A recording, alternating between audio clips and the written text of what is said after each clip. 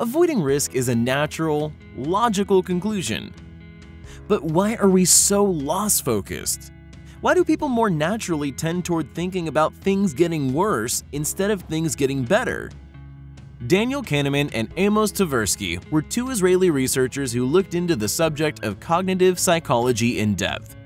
They developed the prospect theory, which went on to win them a Nobel Prize for economics, despite neither of them ever taking a single class in economics.